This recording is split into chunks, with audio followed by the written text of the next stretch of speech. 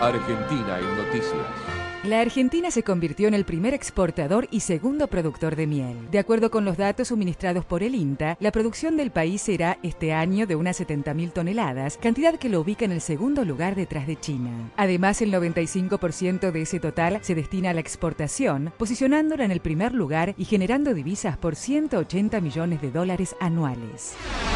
La presidenta recibió en Nueva York a directivos de empresas con inversiones en el país. Cristina Fernández mantuvo encuentros en el hotel donde se hospeda con representantes de las firmas AES Corporation y ExxonMobil. Ambos empresarios le confirmaron a la presidenta sus planes para incrementar sus inversiones en la Argentina para la generación de energía eléctrica y exploración y extracción de petróleo.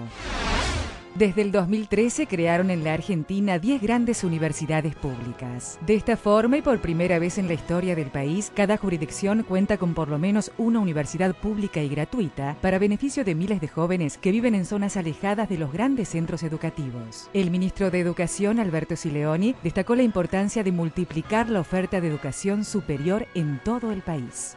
Estamos por 47 universidades públicas en la República Argentina. No hay provincia que no tenga al menos una. Y esto, la verdad que es muy, muy importante.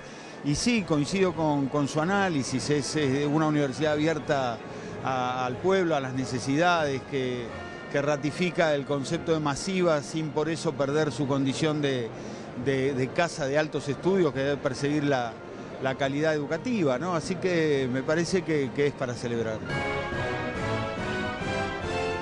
Argentina en Noticias. Panorama informativo de Argentina.ar